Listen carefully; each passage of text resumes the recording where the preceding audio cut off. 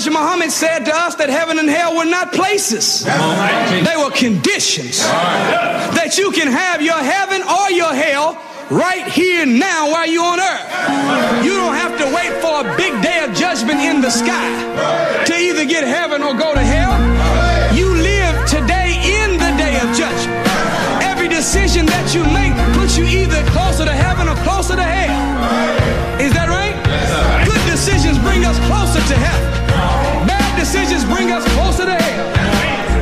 Let's present the case.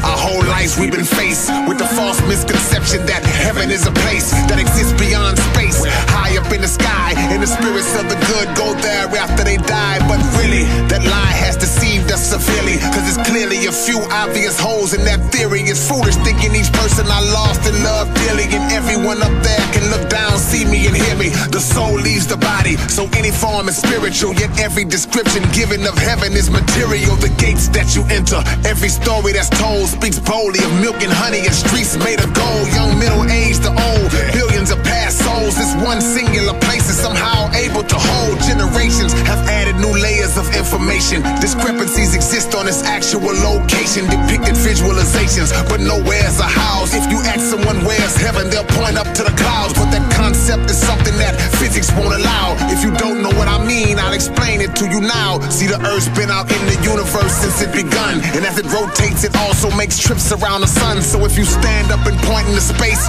do it again in 12 hours, you'll be pointing to a whole other place. The planet's moving, so listen to this. What you thought was up is down now because the Earth's position is switched. The enemy tricked us and made us to bow. Told us we would have our heaven later while he was enjoying his now. So the question that I'm posing is why? If heaven's better than where we are, how come nobody's rushing to die? Cause when you die, it's over, no life replacement to give.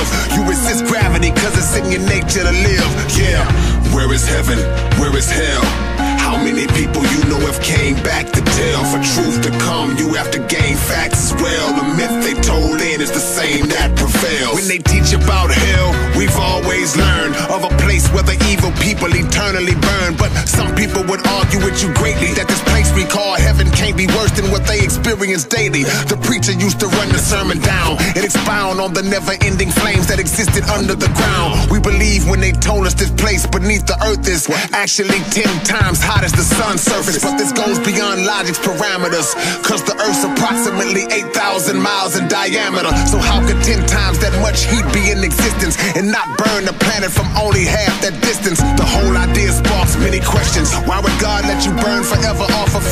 of transgressions? They say that suicide is the truest way to go to hell. And though many knew it, somehow they still do it.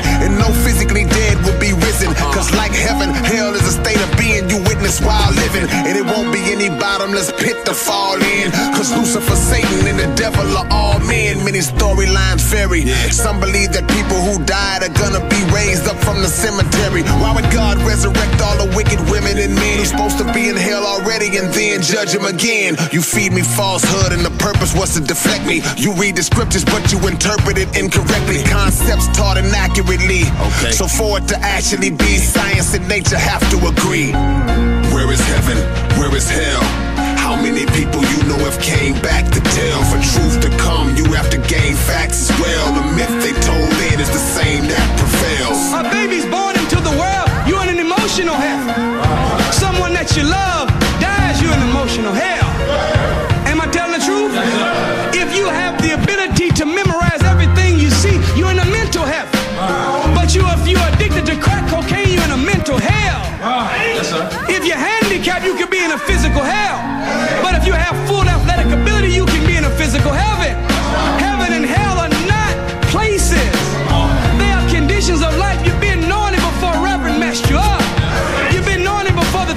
Seminary messed him up.